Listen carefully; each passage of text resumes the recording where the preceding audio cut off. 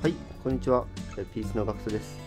本日はですね、珍しく事務所の方から動画を撮ってるんですけれども、えっ、と、昨日、木曜日の福島のオークション、ネットから買い付けして、またやらかしてしまいました。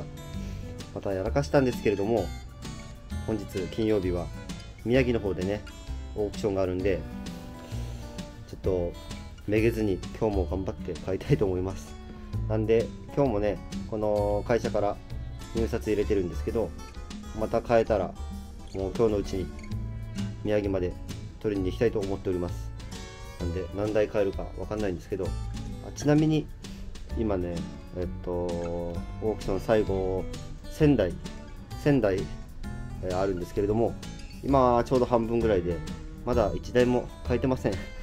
1台も買えてないんでちょっと厳しいんですけどまあ最後までやって何台か帰ればいいかなと思ってます、えーめげずに今日も頑張ります。もうあと3分の1ぐらいかな。残りはそんぐらいなんですけどまだ買えてないですね。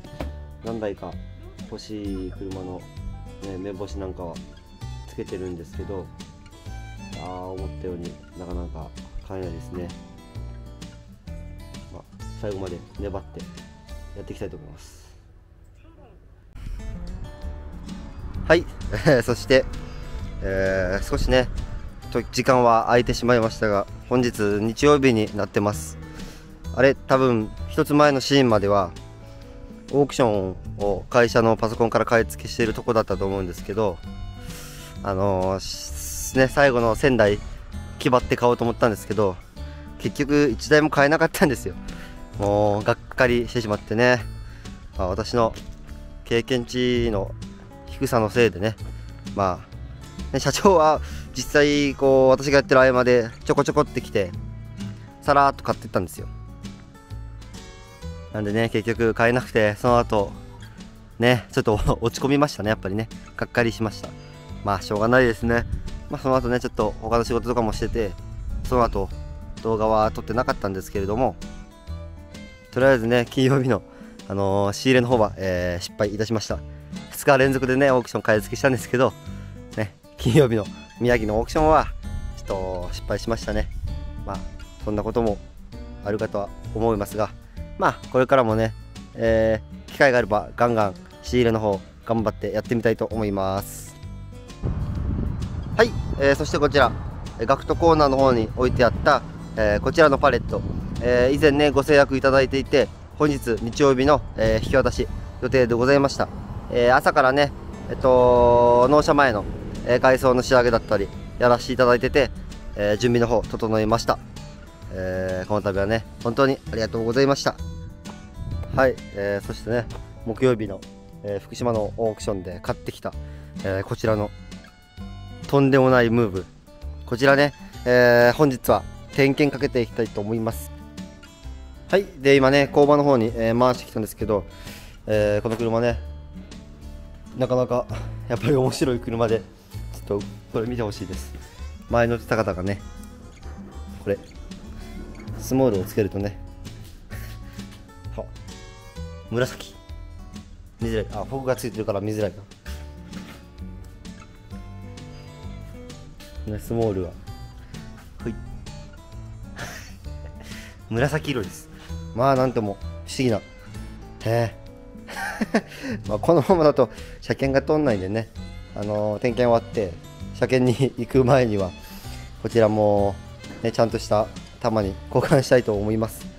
なんせいろいろと面白いところがある車でございます。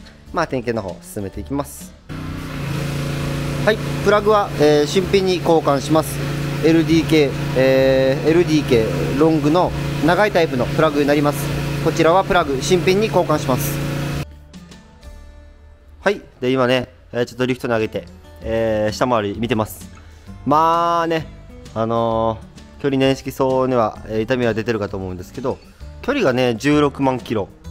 でも16万キロにしてはそんなに思ったより16万キロの4区にしてはそんなにいたんじゃないいたんではないのかななんては、えー思うんですけどまあね多少なり、えー痛みが出る部分は、えーあるとは思うんですけどそんなにねそんなにそんなにひどいのはない。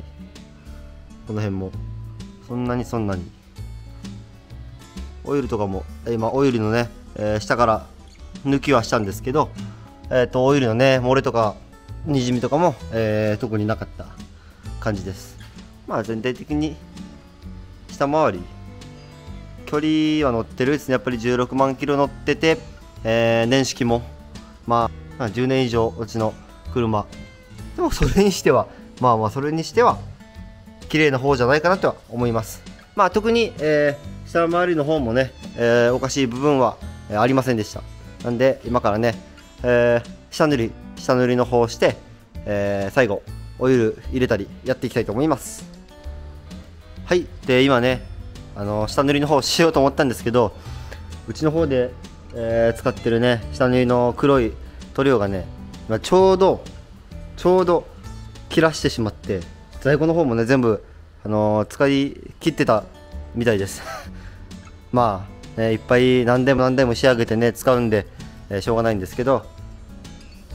なので中途半端にねあの途中まで、あのー、下塗りとかするよりはねとりあえず、え今日は下塗りの方しないで後日ね塗料が届いたら、えやりたいと思います。なんで車検はねえー、下塗りしないでそのまんま通して上がってきてから、えー、やりたいというふうに思っております。はい、えー、とりあえず点検の方は、えー、終わりました。なんであとは車検に、えー、ね、福島まで往復100キロちょっと、ね、福島までの往復を、えー、自走で試運転も、えー、兼ねながら行っていきたいと思います。そこでね走行上の問題がなければとりあえずテントの方には出そうというふうに考えております。とはいってもね、えー、距離は16万キロで平成19年式のお車なかなかね外装とかいろんな部分傷んでるとこはあるんですけれどもとりあえずねこんな面白い車もガクトコーナーの方に、えー、置きたいなというふうに思っておりました。これねホイールもさっきまでは鉄チのねホイールだったんですけどまああの見た目とねあと山もなかったんで今回ねこの138013インチのえー、アルミ履かしてもらいました。ちょっとねかっこよくなったんじゃないでしょうか。まあ個人的にはね私ねすごい不思議な車ですけど嫌いじゃないです正直。だから買ってきました。ここのねこんな柄こんな柄っていうとあれですけど、まあ、不思議な、えー、柄でも買ってきてしまいました。まあそんなことでムーブは点検終了したんで車検の方通してくるようにします。はい。道路際でちょっとね、えー、車の音がうるさいかとは思いますがこちらもね、えー、紹介したいと思います。この辺ねえっ、ー、と道路際。この辺道路際ねそこ6号線で。道路際の方にねガクトコーナー。今3台あ4台だね。在庫で置いたのは4台。こちらねありがたいことに、えー、ご制約いただいていたミラー。こっからですね。はい。こっからねガクトコーナー。こっからですね込み込み20万円のモコね17年式年式は古いですけどね9万8000キロ。これね本当に足代わりには最高なんじゃないか値段的にも、まあ、外装自体はそんなにね段ではないんですけれどもまあ年式が年式ですからまあ20万円で出させていただいてます。足代わりには本当にちょうどいいと思います。ね。あとは EK ワゴン。21年式。11万3000キロでタイミングベルトは交換済み。こちらは、え、25万円で出させていただいてます。こちらもね、えー、正直外装がね、あの、ボロボロなんですよ。外装がね汚いんですよね。外装が汚いんでこちらもねイメージ的には足代わりにはちょうどいいかなっていうようなイメージで、えー、出させていただいてます。あとここからはねえー、ライフ2台。こちらのね23年式11万9000キロの、えー、ライフ。いいですね。こちらのライフは、えー、35万円で出させていただいてます。非常にね運転もしやすくて見た目もいいライフです。で、えー、同じモデル同じ年式23年式で10万2000キロのライフ。こちらも、えー、35万円で出させていただいております。こちらの車たちね非常に見た目も良くて年式も、えー、少しね新しめということでまあねなんで少しお値段の方は、えー、こっちのね EK ワゴンとかモコに比べると、えー、少し高い部分はあるんですけれどもでもね、えー、非常にいい車だと思います。そんなことでねガクトコーナーまた今週もね仕入れの方してきて点検だったり、えー、やれることやってはいたんですけど、えー、まだまだねガクトコーナーの展示台数も増やしながら、えー、頑張っていきたいと思いますのでぜひ、え応援よろしくお願いいたします。それでは、え低価格車専門店ピース渡辺学徒どうぞよろしくお願いいたします。バイバーイ。